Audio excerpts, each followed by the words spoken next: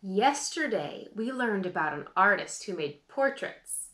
Do you remember his name? His name was Giuseppe Arcimboldo. Now, Giuseppe Arcimboldo himself was not very famous, but his artwork was really famous and really cool too. So he made portraits out of people that were supposed to be funny and they are funny. His portraits are made out of fruit or books or flowers and tons of other stuff too. Arcimboldo even made portraits of the four seasons. Do you know the four seasons? That's spring, summer, fall, and winter. How did he make portraits of the four seasons, you're asking me, right?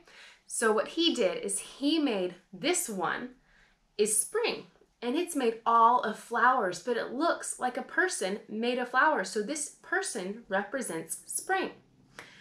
This one is summer, and he made it all out of fruits that grow during the summer. This one is fall. He made a person look like the season of fall because it's all fruits and leaves that all grow during fall. And this one is winter, and it's made up of bare branches and things that grow during the winter time. So in honor of Giuseppe Arcimboldo and his Four Seasons portraits, we are going to draw the season of fall.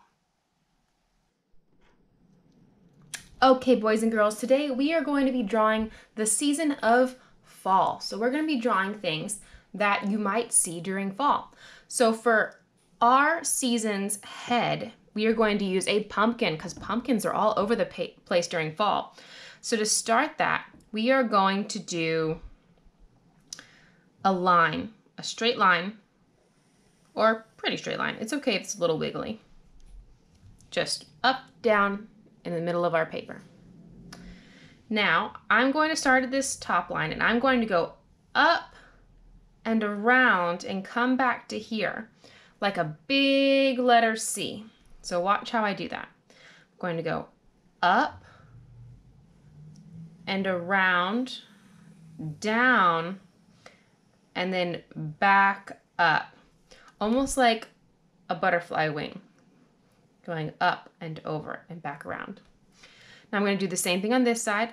Up and over around and back up. So our pump, we're getting pretty close with our pumpkin. So now we're going to do from here a curve and then another curve. Now we're going to do the same thing on this side. A curve and then another curve. And if I ever go too fast, you just hit that pause button. You hit it up. Say, hey, I need to pause. She's going too fast. And you rewind, press play, do whatever you need. It's the nice thing about having art during a video. Now, for our pumpkin's face, we are going to be using other fruit, just like Giuseppe Arcimboldo did. Arcimboldo did. So we're going to do two apples for the eyes because we already learned how to do that yesterday. So we can do that a little faster since we already know how. Two ap an apple for the eyes. Then we're to do a cherry for the nose and a banana for the mouth. But before we get there, we got to do our pumpkin's stem. So not this top curve, but the second one. We're going to do a line going up. And then not this top curve, but the second one. We're going to do a line going up.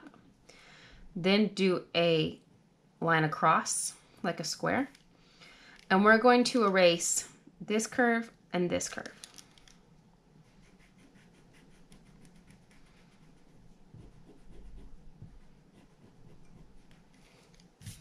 And that is our pumpkin's stem. So now we get to do our apples. Now we're not going, if you want to do a tr tracer again, in fact, if you even want to watch yesterday's video to draw your apples, you can. But so I'm just going to draw these a little bit quicker. So as we remember, apples have kind of a straight top and then it curves on the sides. It's It's a little bit straighter towards the bottom. And then we have a valley, hill, and valley. Valley, hill, valley. Then a smile curve and a stem. And that curves off to the side, has a line down, and then curves back. Now we're going to do another one on this side.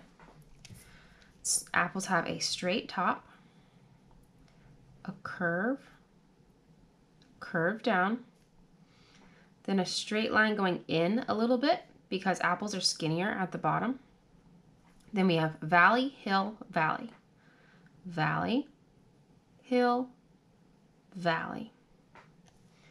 Then a smile curve, then a curve for the stem, a straight line down, and then a curve back. That's our two apples. Now we're going to do a cherry right in the middle. A cherry is kind of like a heart shape, except there's no point at the bottom. It's rounded at the bottom. So we're going to start in, go up, around, don't make a point, and then go back in.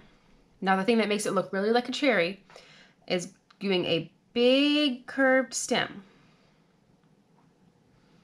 And then it's shaped kind of like our apple stem, but just a whole lot longer. Now for our final fruit, a banana.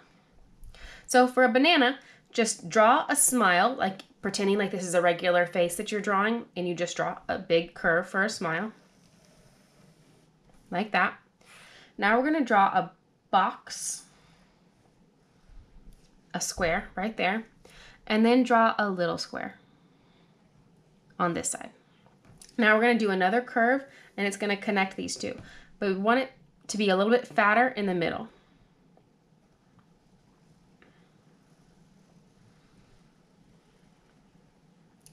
Now we want to erase all of these pumpkin lines that are inside of our banana and inside of our cherry.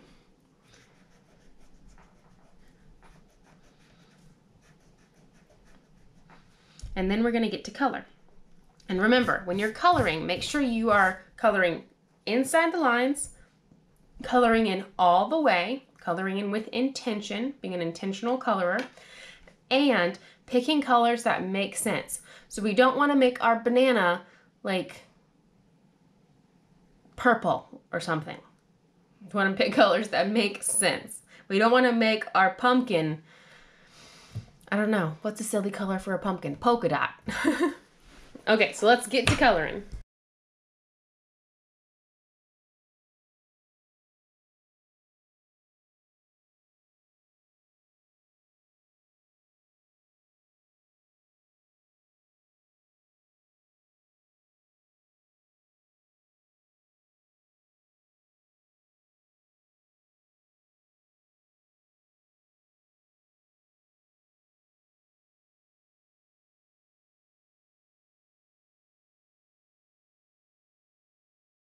I had a lot of fun making this and I hope you did too and I cannot wait to see the faces that you turn in so that I can see them.